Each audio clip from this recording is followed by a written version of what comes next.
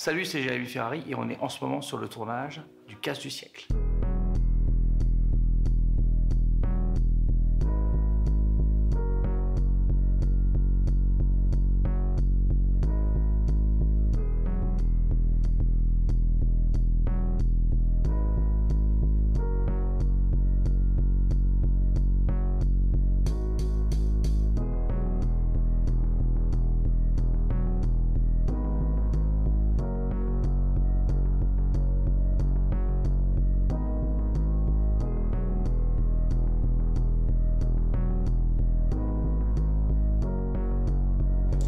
Moi, je découvre. hein.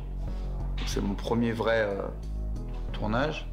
J'ai vraiment flippé de ouf. Parce que j'ai dit, bon, bah, c'est maintenant qu'on va savoir si je suis crédible devant une caméra, euh, si j'y arrive. Et ça s'est bien passé. Je crois que j'ai réussi. J'ai vu dans les yeux des gens ce que je voulais voir. Donc ça, ça m'a vachement rassuré. Donc du coup, je sais maintenant que ça peut être bien. Le reste, c'est que du travail. Mais la première fois que j'ai joué, je savais pas si j'allais y arriver.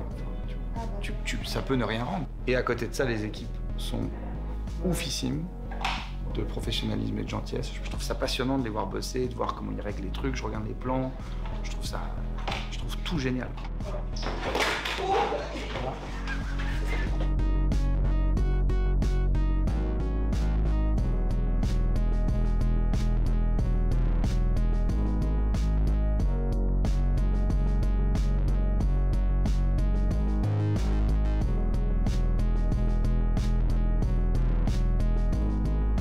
C'était très intéressant de tourner avec ces, figurants non professionnels parce qu'on avait vraiment leur réaction. Ils ne savaient pas trop quel était le scénario, donc euh, on pouvait un peu jouer avec eux.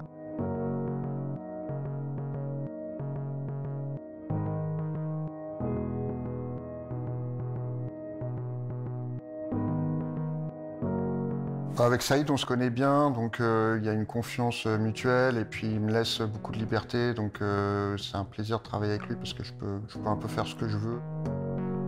Le scénario, tout de suite, il m'a plu, j'ai trouvé ça très bien écrit et drôle, et ça a un rapport avec le premier confinement et tout le monde était un peu sous le choc à ce moment-là, et du coup, il y avait il y avait des choses un peu à exprimer sur ce moment-là, un peu suspendu.